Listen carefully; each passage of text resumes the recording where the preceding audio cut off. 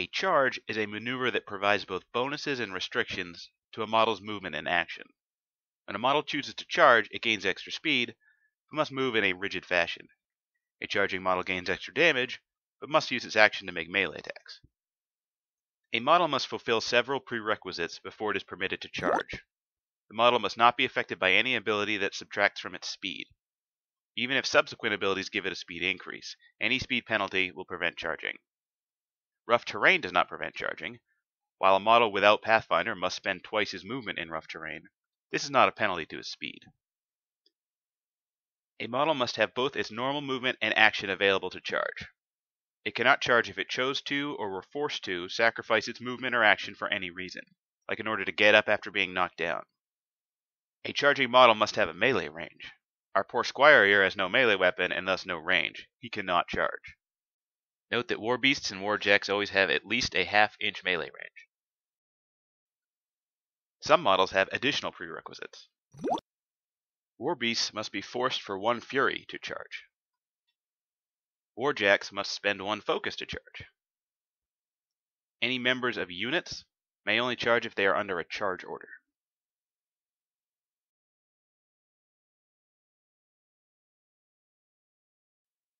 To charge, a model must first declare a target. The charging model requires line of sight to his target. Our Warp Wolf Stalker here in the middle with the sword can declare a charge against the Swamp Horror or any of the fish people, but cannot attempt to charge against the Croak Hunter at the top, because the hunter is behind an obstruction.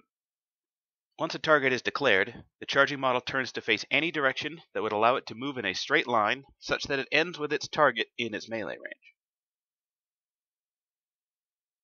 Our stalker could choose to charge along this line to bring it above the horror. Or it could choose a very different line to charge down here. As long as the stalker ends up with the horror in his reach, it's a legal charge attempt. A model cannot attempt a charge that could not possibly end with its target in range. This movement isn't a failed charge, it's an illegal move that cannot be attempted. The stalker could not charge such that he ended up by that wall. A charging model moves along his charge line, a distance equal to his speed plus 3 inches. A charging model cannot cut his charge short before he gets his target in his melee range. Once his target is in range, he can choose to immediately stop, or he can continue moving along the straight line he charged. He must keep the target in his melee range, though. He cannot continue his charge such that he then moves out of melee range. If a charging model touches another model's base, the way our stalker, charging a fish person in the back here, touches the swamp horror's base, the charge immediately stops. Similarly, a model's charge movement ends if he touches an obstruction. Linear obstacles, like this wall, also stop a model's charge movement, unless the charging model has Pathfinder. Once the charge movement is over, the charging model turns to directly face its charge target. When a charging model's movement ends, it checks to see if its charge target is in its melee range. If the target is not in range, the charging model's activation immediately ends. The model cannot take an action or use its anytime during the activation abilities. If the charging model ends his charge with his target in melee range, the charge is successful, and the model can continue his activation normally. It can use anytime abilities, like Animi or Megalith's Geomancy, after a successful charge and before his action.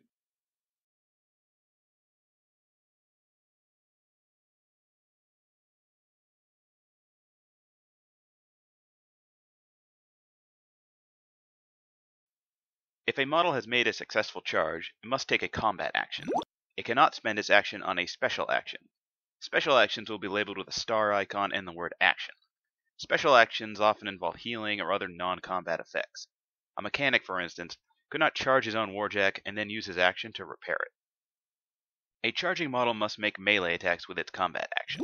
It may choose to make initial melee attacks or a special attack with a melee weapon. If it chooses to make initial attacks, it makes one attack with each of the melee weapons listed on its card. If it chooses to use a melee special attack, it foregoes its initial attacks and instead follows the rules of that special attack. Special attacks are labeled with a star icon and the word attack. They must be listed under one of the model's melee weapons on its card to be considered a melee special attack. The first attack a charging model makes must target his charge target. Subsequent attacks may target anyone in his melee range. Our Stalker here has charged the Swamp Horror and must attack it first, but may go after the fish people with any of his other attacks. If the charging model moved at least 3 inches during his charge, then his first attack is considered to be a charge attack. A charge attack's attack roll is made like normal, but its damage roll is automatically boosted.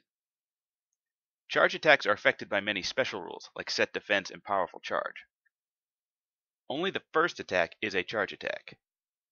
Even if a special melee attack like Thresher lets you make multiple simultaneous attacks. If a charging model did not move at least 3 inches, its first attack is not a charge attack. It is not automatically boosted and is not affected by special rules such as set defense and powerful charge. A model that charged less than 3 inches still must target his charge target with his first attack.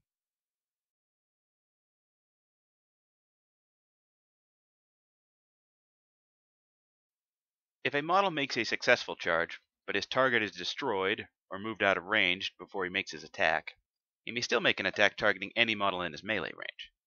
This attack is not considered to be a charge attack. We see this most often when units attack. These fish people each charge into this unit of boom howlers. Our first fish from the bottom dispatches his target. So does the next fish up. The third fish, our leader, is left without an enemy in his melee range and cannot attack. Our fourth fish up lost his charge target as well, but he can reach the last boom howler, so he'll make an attack on him. This attack is not a charge attack, so his damage won't be boosted and he won't get the plus 2 attack roll bonus from powerful charge.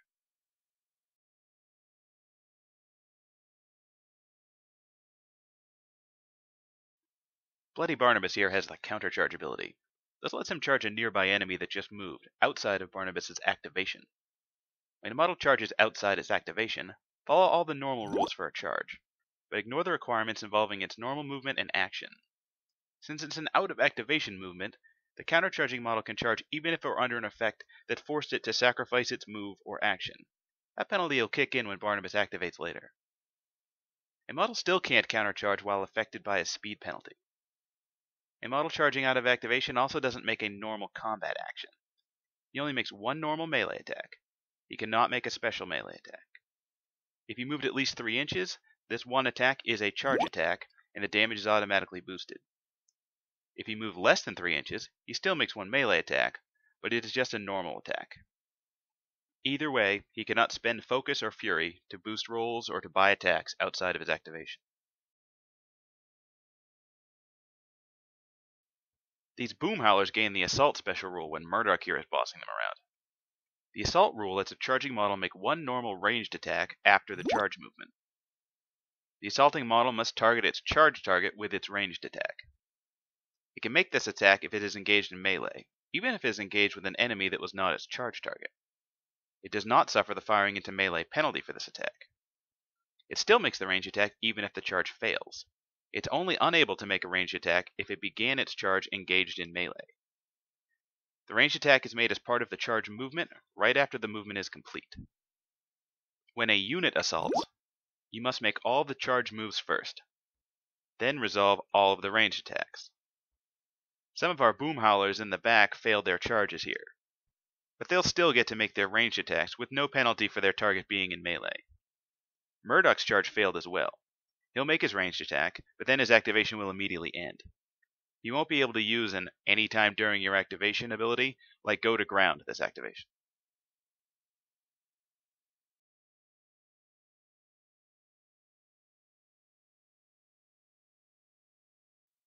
Charging is one of the most essential Warmachine maneuvers and one of the first rules new players learn.